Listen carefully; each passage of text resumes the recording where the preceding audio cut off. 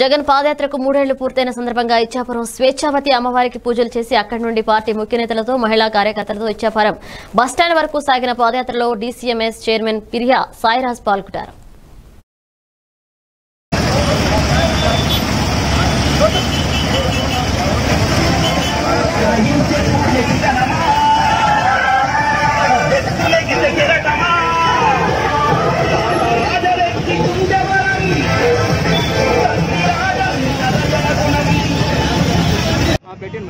ముఖ్యంగా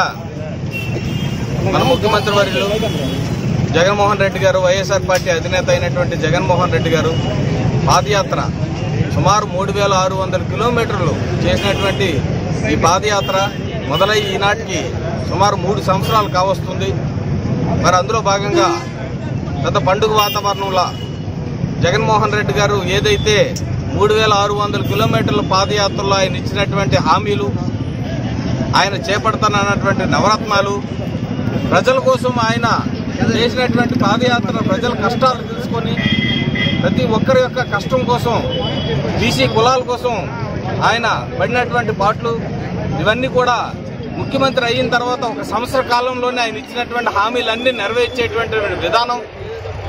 ఒక సచివాలయ వ్యవస్థ అయితేనేమి ఒక వాలంటీర్ వ్యవస్థ అయితేనేమి ఇవన్నీ కూడా స్థాపించి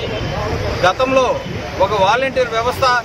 ఇటువంటి సిస్టమ్ ఏమీ లేకపోవడం వల్ల ప్రతి ఒక్కరూ ఎవరికి ఏ అవసరం వచ్చినా సరే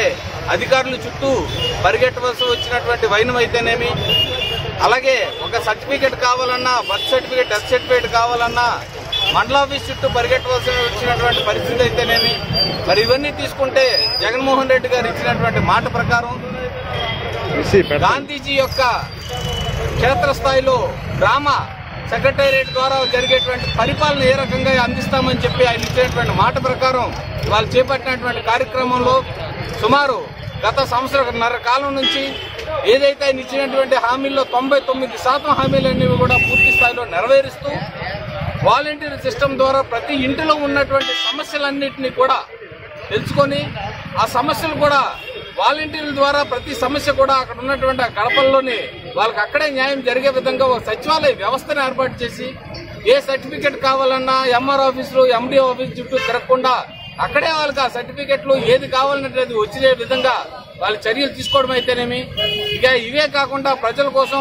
ఒక పక్క రైతుల కోసం ఒక పక్క వృద్ధాప్య పెన్షన్ల కోసం ఇలాగా అనేక సంక్షేమ పథకాలు ప్రవేశపెట్టి ఆ పెట్టినటువంటి ప్రతి సంక్షేమ పథకంలో తరతమ బాధ్యతం లేకుండా